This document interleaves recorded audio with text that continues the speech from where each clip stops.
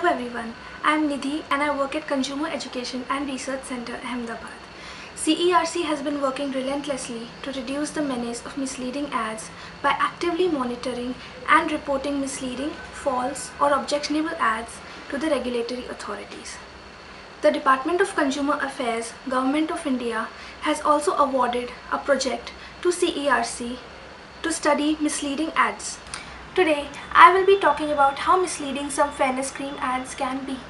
Do you get impressed by claims such as get fair and glowing skin within a week or uh, this cream gives you long lasting fairness or uh, this cream has a number of ingredients that will give you fair and glowing skin?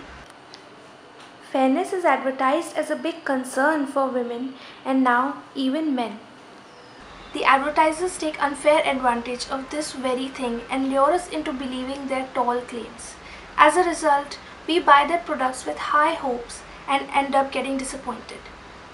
In this video, I will be showing you some such ads that have been questioned by CERC. Let us now go ahead and look at some examples.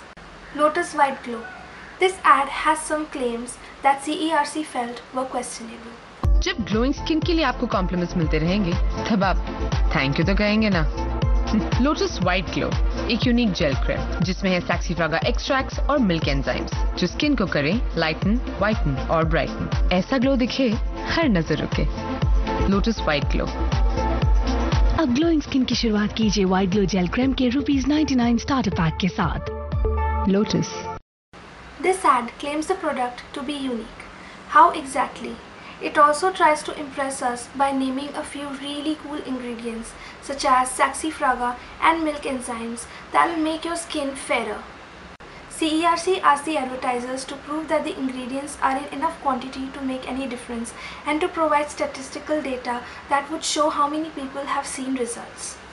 The actress Huma Qureshi endorses the product CERC asked the advertisers whether she has examined the claims for substantiation and given her consent. ASCI found that the advertisers were unable to answer any of the questions raised by CERC, so they concluded that the ad was misleading. Let us look at another ad which is very popular and probably impressed many. Fair and Lovely. This ad probably sounds very promising with all the scientific jargons used in it, but it raised many questions at CERC. Now this ad claims that it gives laser light-like focus on dark spots and areas. It targets the melanin in skin and reduces its production to prevent skin from getting darker. Laser light treatment is a very advanced technology and it uses rays for treatment. How can a fairness cream compare to a technology like laser light? The ad also shows laser light coming out of the tube in the shape of a DNA structure. This is a visual which may be very misleading and it may lead many of us into thinking that this is something really advanced and it might really work. After asking for substantiation from the advertisers, ASCI concluded that the comparison of a fairness cream with a laser light treatment is a complete exaggeration and that it is misleading. To widen their consumer base, fairness cream brands have also started targeting men. One such brand that targets men is Emami Fair and Handsome. Endorsed by Bollywood superstar Shah Rukh Khan, this ad claims that its breakthrough new formula with 5 action fairness system goes deep through skin and transforms it. It further claims that its effects last long. The advertisers claimed long lasting fairness. CERC had doubts about this and so the claim was questioned. Studying the advertiser's response, ASCI found that the product does make skin lighter. However, the advertiser admitted that it only gives temporary and artificial change. This is a blatant lie and this might cause widespread disappointment in the users uh, who are expecting long-term and long-lasting fairness from this product. Hence, this claim is misleading. We just saw how some ads can mislead consumers. The ASCI code has a special chapter on the provisions for fairness cream ads. This includes that the fairness ads must not denigrate or stereotype people with dark complexion.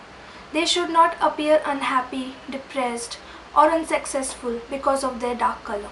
Basically, the ads must not show that the dark color is a, kind of disadvantage or barrier in one's career or relationships.